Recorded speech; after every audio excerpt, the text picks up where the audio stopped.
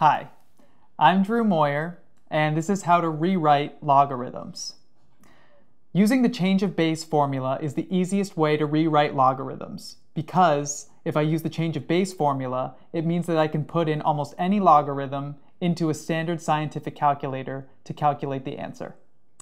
So, the change of base formula is written just like this.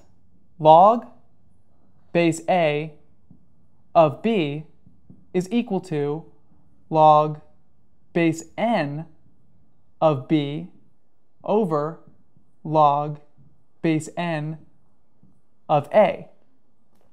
And what a lot of people tend to do for n is to plug in base 10 because base 10 is the standard logarithm function on most standard scientific graphing calculators. So let's suppose that I have a really complicated log logarithm um, log base 17 over 4 of 31 is equal to what?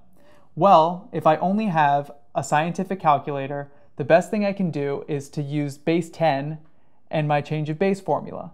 So I would say log base 10 of 31 over log base 10 of 17 fourths. And I would evaluate that to be about 2.3 7.4. So I'm Drew Moyer, and that is how to rewrite logarithms.